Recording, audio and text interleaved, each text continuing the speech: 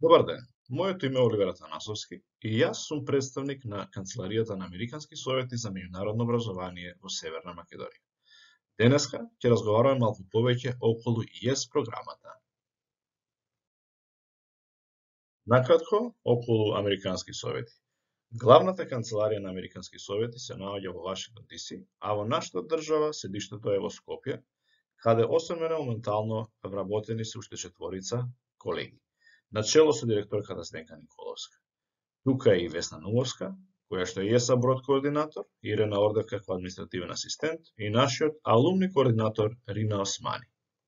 Во моментот активни се шест образовни програми кои што ги спроведува нашата канцеларија, а најблиска до ЕС е така наречената ЕСА брод програма која што е реципрочна на ЕС. Што значи тоа? Во рамки на ЕСА брод, американски ученици ја посетуваат нашата држава, живеат во семејства домаќини и посетуваат настава во локални училишта. Исто така, нашата канцеларија спроведува и низа алумни проекти, односно проекти во кои што се вклучени учесниците по нивното враќање од престојот во САД.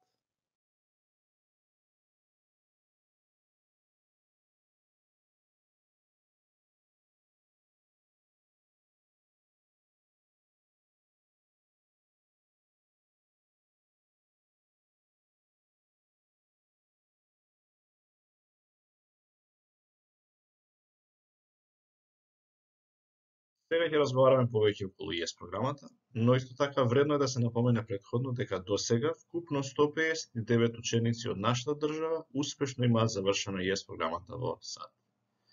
На оваа слика може да ја видите нашата директорка Зdenka Николовска со дел од алумни тимот на една од нашите конференции.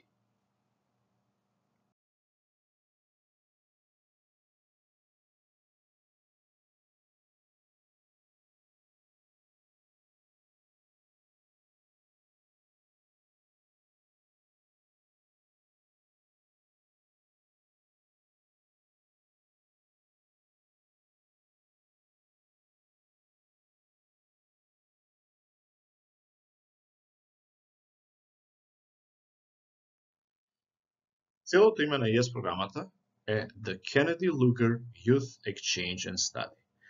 Оваа ЕС програма е програма на Американскиот State Department, која што е финансирана од страна на владата на САД. Програмата беше за првпат основана од страна на Конгресот на Америка во октомври 2002 година како одговор на нападите од 11 септември 2001 со цел сближување на народите. Во Македонија, оваа програма ја имплементираме ние како канцеларија во партнерство со организации од САД кои што се нарекуваат placement организации. Главната улога на овие placement organizations е да наоѓаат семејства домаќини и училишта за нашите ученици.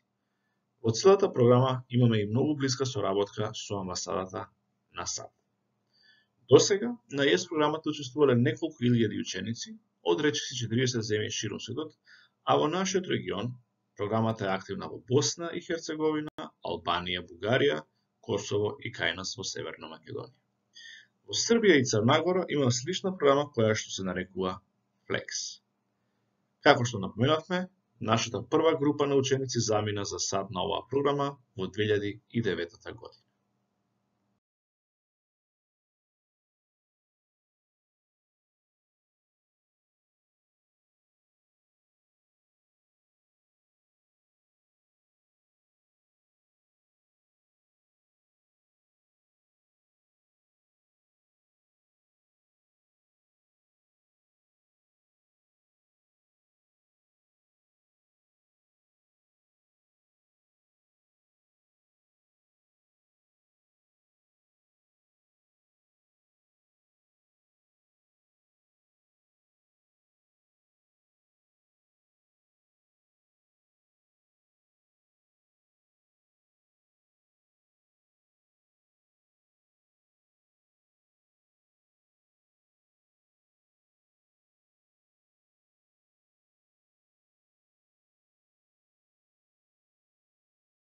ЕС стипендијата, односно учеството во ЈЕС програмата вклучува прво повратен авионски билет од Северна Македонија до местото каде што ученикот ќе биде сместен во САД.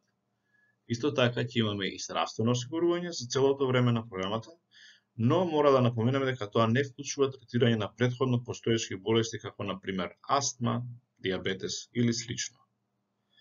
За време на програмскиот престој, учесници добиваат и месечен надоместок, односно парлак, во износ од 125 долари месечно, кој што се користи за основни потреби, како хигиена или како и учество во друштвени активности со своите другари во тамошната заедница.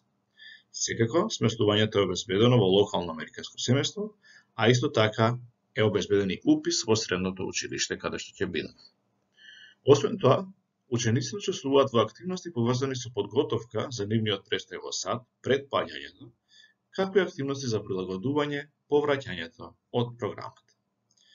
За потребите во училиштето или други програмски активности, учениците имаат дополнителни средства на располагање во износ од 300 долари во текот на целата година. И конечно, повраќањето алумните имаат поддршка за спроведување проекти во своите заедници, се со главна цел да придонесат кон подобрување на истите.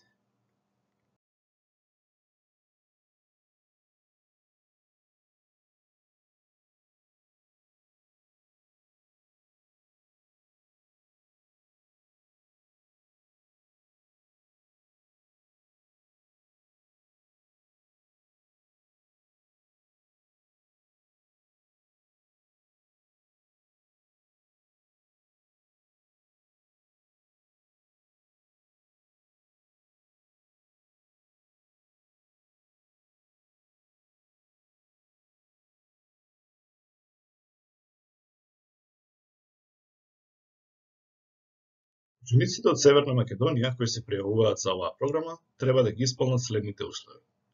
Тие првенствено треба да бидат државјани на Северна Македонија и да може да се здобијат со македонски пасош.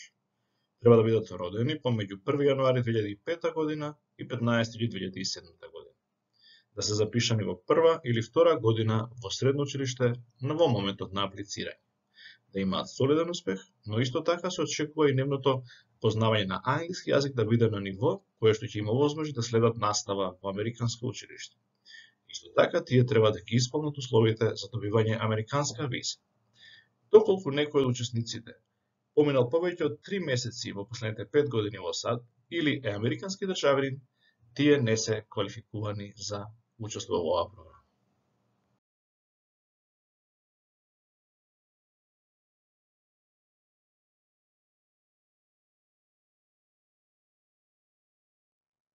Полуфиналисти се сите ученици кои се пријавиле онлайн во периодот од 1 септември до 2 ноември 2021 година.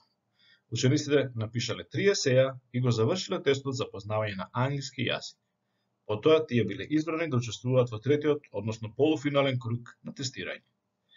Третиот круг на тестирање се состои од пишување дополнителни есеи, но овој пат под надзор од страна на вработени во канцеларијата на Американски совети. Исто така има индивидуално интервју со представник на Американските совети и американски партнер. Во третата фаза има и нова онлайн апликација која што побарува и прикачување на документи потребни за програмата, како што се оцени од училиштето, здравствено уверение, список на активности на учесникот и слично. Ако имате било какви прашања поврзани со ЕС програмата, може да ни се обратите на нашата официјална имейл адреса yes.mk@americancouncils.org. Може да го посетите нашиот вебсайт и исто така и на Facebook, каде што може да ме контактирате преку порака. Во секој работен ден од 10 часот до 15 часот може да контактирате на нашиот телефонски број 023076 522 за сите прашања. Ви благодариме.